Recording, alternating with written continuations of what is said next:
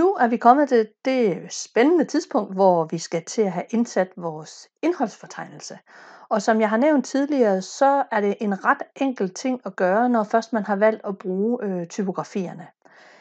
Det første, man skal gøre inden, det er lige at indsætte en tom side i toppen af dokumentet. Og det er simpelthen fordi, det er smartest at have indholdsfortegnelsen på sin egen side. Jeg stiller mig lige foran den første, det første afsnit her og trykker Ctrl Enter på tastaturet, og det er en måde, man kan indsætte en ny side på. Jeg stiller mig lige helt heroppe i toppen, og som øh, du kan se, så har jeg stadigvæk de her tegn slået til, og kan derfor se, øh, at jeg har et sideskift her nu. Det er meget vigtigt, at jeg står her foran sideskiftet, for så står jeg på side 1. Hvis jeg stiller mig bagefter, så får jeg faktisk sat min indholdsfortegnelse ind på side 2. Jeg laver lige et, et nyt afsnit, så jeg har en tom linje at stå i her.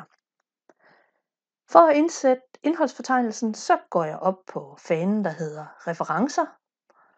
Og den har en rigtig masse spændende ting, men her nøjes vi bare lige med at kaste os over indholdsfortegnelsen.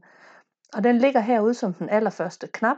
Jeg trykker på den en gang, og der ligger de indbyggede indholdsfortegnelser. Man kan godt gå ud og hente flere, men ofte synes jeg faktisk, at de her de rækker fint til, til det brug, man har. Så jeg vælger lige den første hernede, der hedder en automatisk tabel 1, klikker på den, og jamen, inden man kan nå at sige kaffepause, så har øh, Word simpelthen genereret en indholdsfortegnelse til mig.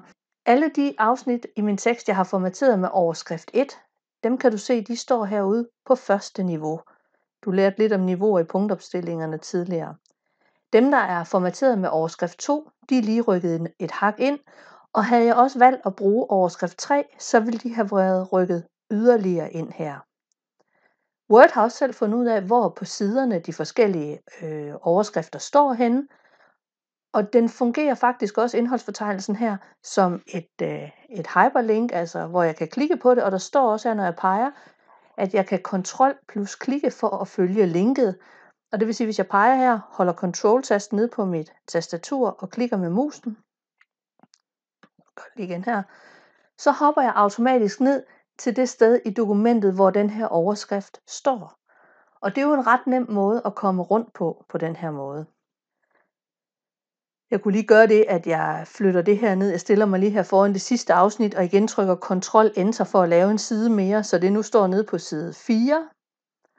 Jeg tror lige, jeg laver om heroppe og siger, at øh, den her med sidefod og sidefod, den skal også være overskrift 2. Og så den her nede, der hedder spar tid, den sætter vi lige til overskrift 3. Jeg prøver lige at lave lidt om på det.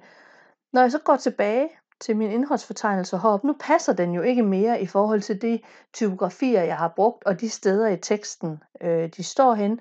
Så jeg klikker en gang herinde på opstillingen, så den bliver markeret.